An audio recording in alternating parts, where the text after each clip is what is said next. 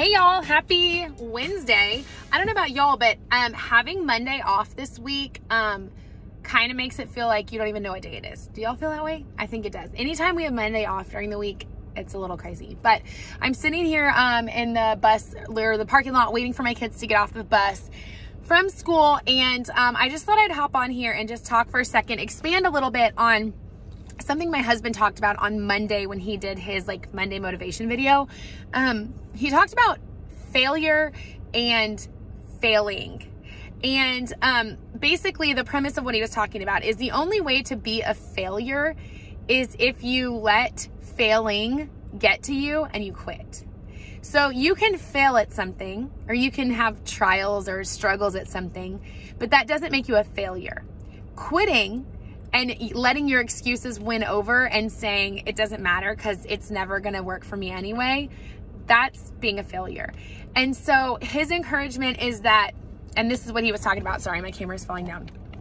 Is that failing is part of life, right? It's part of learning, it's part of living, it's part of being human. We're all human, we all fail on a daily basis, right? In different areas of our life. And, um, I just think it's really important to remember. And I keep telling myself, I tell this myself when I'm on plan with program with Optavia. I tell myself this in all areas of my life as a coach, as a business owner. And I tell myself the only way I'm going to be a failure is if I quit trying.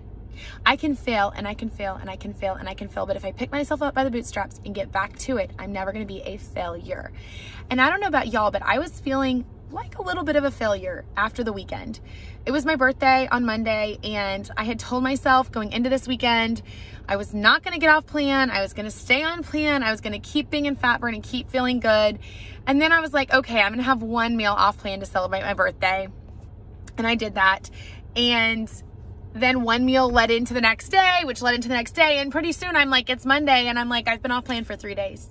And I felt like a failure. And my body didn't feel good. And I felt like I was letting you guys down.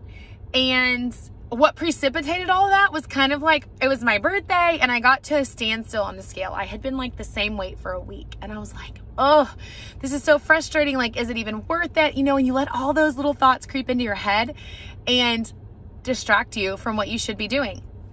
And so I just wanted to encourage you guys today. If you're feeling like a failure, if you're feeling like you let yourself down, or like you quit on yourself, or you're at a standstill and you're just frustrated with how things are going, it's okay. It's human and we all feel that way at different times.